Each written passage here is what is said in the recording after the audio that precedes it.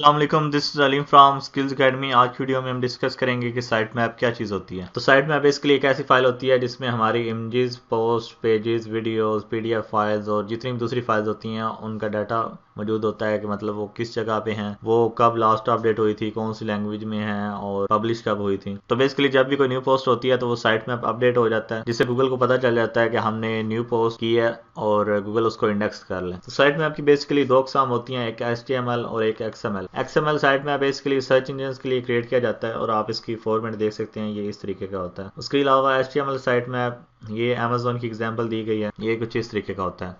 चलिए आप चलते हैं लाइव प्रैक्टिकल की तरफ़।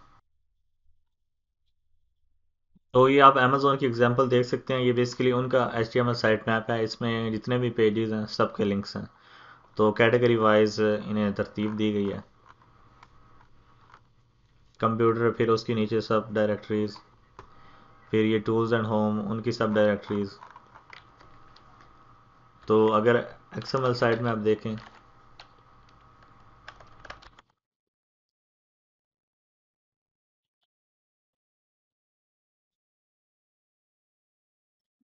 तो ये कुछ इस तरीके का होता है। अगर आप थोड़ा बहुत ऑर्गेनाइज देखना चाहते हैं इसे तो ये आप योस्ट का साइट में आप देख सकते हैं। इसमें हर चीज़ के हिसाब से उन्होंने मुख्तलिफ़ साइड मैप बनाया है। पेजेस का साइड मैप अलहदा है, पोस्ट का अलहदा है, और कैटेगरीज का अलहदा है, इस तरह करके दूसरे साइट मैप।